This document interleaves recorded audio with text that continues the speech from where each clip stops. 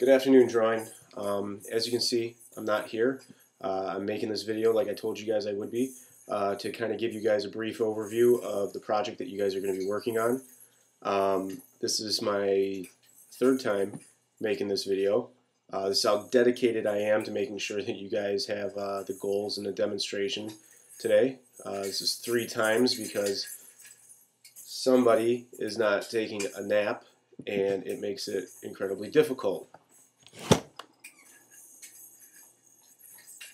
Anyways, um, what you guys are going to do when you come in, if you haven't already, um, I want you guys to grab a copy of Picasso's Seated Man uh, contour line drawing.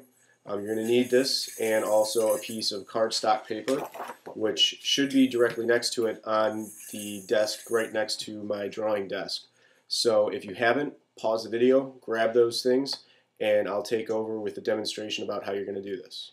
Okay, so I am looking at uh, my cardstock paper, and underneath it I have Picasso's line drawing. What you're going to do is move the cardstock paper up just slightly so you can see maybe an inch, an inch and a half on the uh, picture underneath.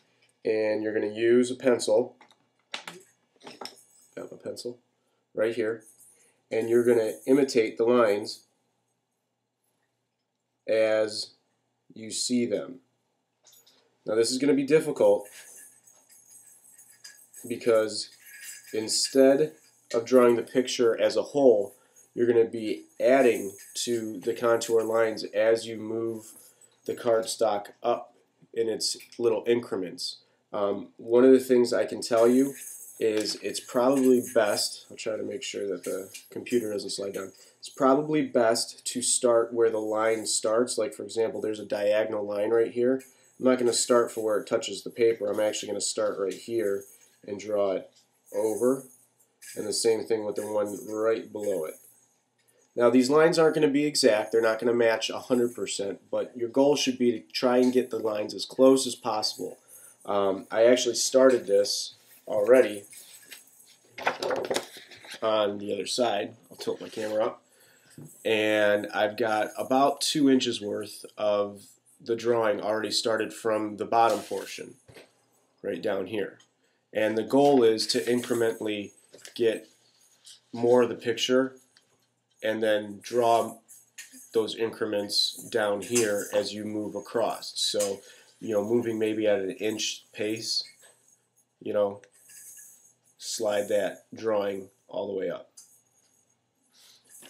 so, like I said, um, make sure that you have the line drawing here um, and you're working on cardstock paper and your goal is to get this finished by tomorrow's class Friday. Um, again, the goals will be written on the website. Um, hopefully the sub can get that up and working for you.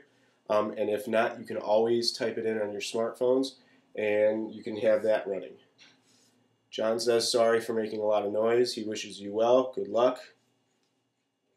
And I think he just did some business. What's down there? Good luck, guys. I'll see you Friday.